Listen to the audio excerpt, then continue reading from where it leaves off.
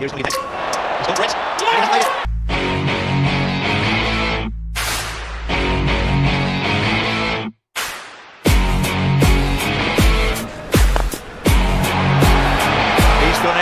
well. This time it... Smashed back past the bowler. And that's four more. So it goes for mid-wicket. And... He's got some bat on this. It's away, five for four. That's... He's got it straight, swung away.